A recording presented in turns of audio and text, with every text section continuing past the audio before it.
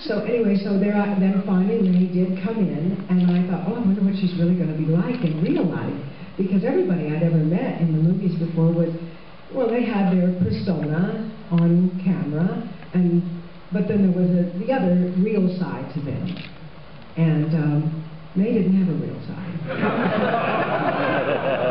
now, I don't mean to be unkind, but really, uh, you, you know, she she came out, she had a long peignoir on and she had a very, very blonde wig on, lots of eyelashes.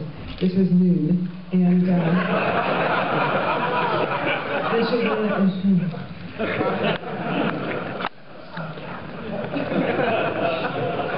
oh.